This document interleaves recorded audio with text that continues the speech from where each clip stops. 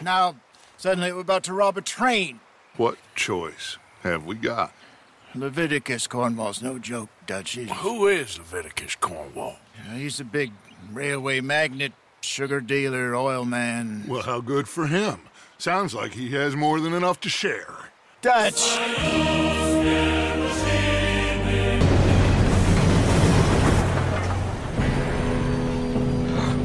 Here we go.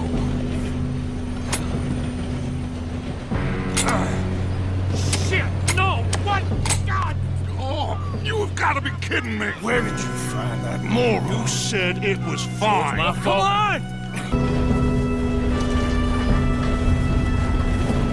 Here we go! Here we go! All we had to do was follow the damn train. Big smoke.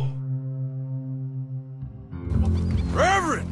Get off the damn tracks! What have you done with your foot? It appears to like this place and wants to stay.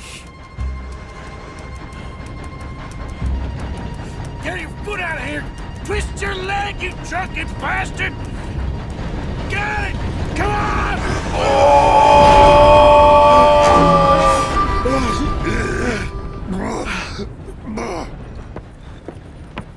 Thank you, sir. Uh, uh, uh, oh no, you don't!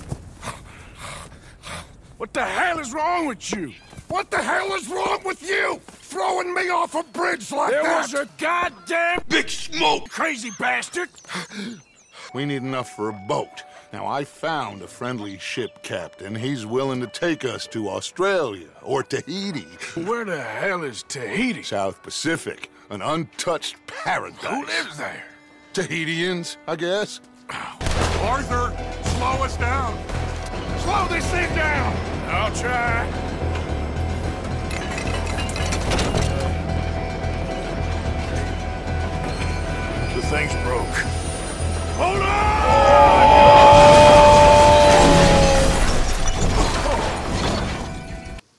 One more. Big smoke. We got enough money to leave. All this turmoil has... I don't know what you're saying, Dutch, but it seems like I've heard it all before. Just one more. And thing. always a goddamn Big smoke.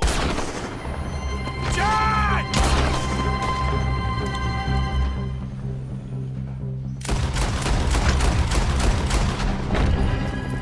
John! You protect that money! The driver's dead. This thing ain't stopping, and we got to get off! Okay then, let's go.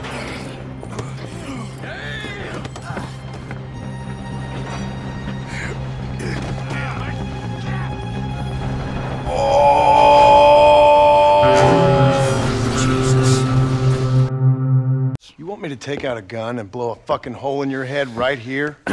right now? You want that? Mr. Marston. You want that? Mr. Marston, I ask you to calm down. Why? Why? I did what you asked. I got you. Red Dead Redemption. Red Dead Redemption Undead Nightmare. Red Dead Redemption 2. It's over. Stop playing games with me.